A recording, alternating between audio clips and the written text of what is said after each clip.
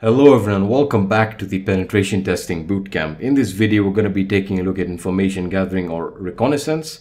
Uh, we're also going to take a look at passive and active information gathering, but the main focus is to introduce you to information gathering, and then we'll take a look at the various tools and techniques that we'll be using in passive information gathering.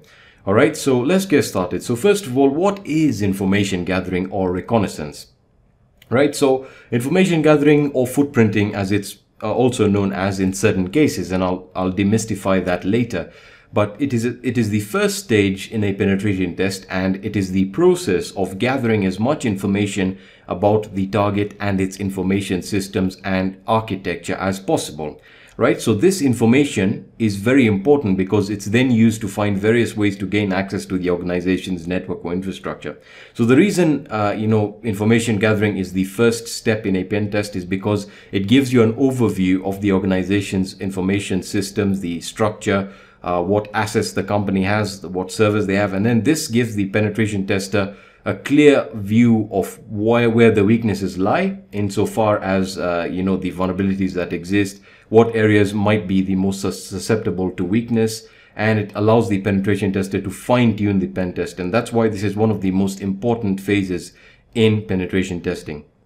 Now, there are two types of information gathering that really entail two types of data or two different types of uh, actually interacting with your target or your client right? So let's start off with understanding passive uh, information gathering or reconnaissance. So passive information gathering is the process of gathering information about a target without making any direct contact with the target's digital infrastructure or really not engaging with the target actively. So passive information uh, passive information gathering relies on uh, OSINT or open source intelligence or publicly available information to map out uh, you know the the uh, the the organizations in, uh, uh, to map out the organization's information uh, systems, their structure, etc. Right? We then have active information gathering. So this is the process of gathering information about a target through direct interaction. So this process involves directly interacting with the target's IT infrastructure or, you know, the, the employees, uh, whether you're performing, uh, you know, social engineering. So you're actually probing the servers. You might be trying to scan for open ports on the servers, stuff like that. However, with passive, you're dealing with information that's already in the public domain and really you're not targeting or you're not actively engaging with the target yet. All right, so let's talk about the objectives of information gathering because this is very, very important. So the main objective of information gathering is to build a blueprint of the target's organizational structure, network information, and host information. All right. So as I said, this information becomes very useful because it allows you to orchestrate the next steps of the pen test very well. Uh, so again, uh, if you perform very good information gathering or very comprehensive information gathering on your target or the target network, you get an idea or a good understanding of, of the structure and where you should start off with first, right? So you're typically, uh, you're typically targeting the low hanging fruit first.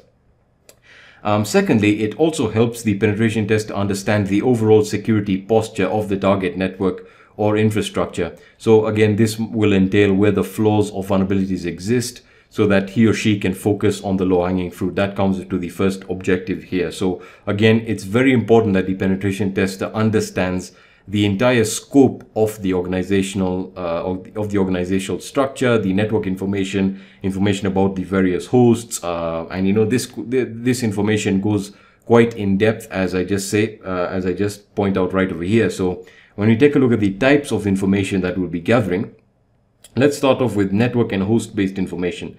So the information you're typically looking for are network ranges used by the company, uh, IP blocks, DNS names, uh, top level domains, subdomains, name servers, mail servers, and uh, the, the software that they're using either on the website or the client uh, or employee uh, software packages uh, you know that they use on their desktop computers this can help you you know you know orchestrate social engineering attacks uh, if you're targeting their web service or their, of their mail service, then again, that information becomes very useful.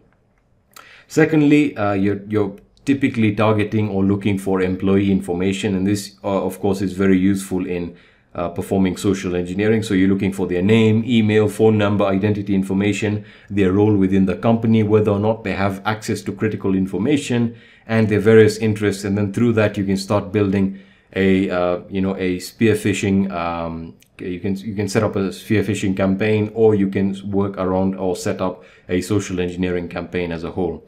All right, so let's talk about the various passive information gathering or OSINT uh, methodologies, techniques, and tools, and the one that I've set up.